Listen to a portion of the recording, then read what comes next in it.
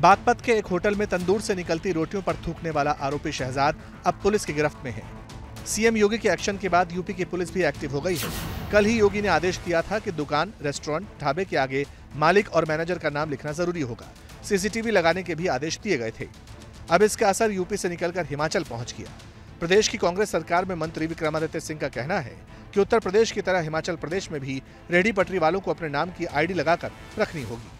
सी चिंताएँ लोगों ने व्यक्त करी थी, कुछ आशंकाएँ भी व्यक्त करी गई थी। तो इसको हमने समझते हुए और जिस तरीके से उत्तर प्रदेश में भी, वहाँ पर भी जो रेडी फड़ी वाले हैं, खास करके, उनके लिए ये मैंडेटरी किया गया है कि वहाँ पर जो है, आपको अपना उसमें नाम और आईडी लगाना होगा। तो हमने भी इसको यहाँ पर पूरी मजबूती से लागू करने का निर्णय किया है।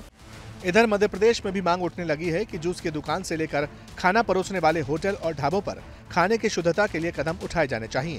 तमाम मुख्यमंत्रियों से भी आग्रह करूँगा और करता हूँ कि सनातन धर्म में आस्था रखने वाले करोड़ों लोगों के संरक्षण के लिए इसी प्रकार का आदेश जारी करें जिससे सनातन धर्म की जय जयकार होती रहे।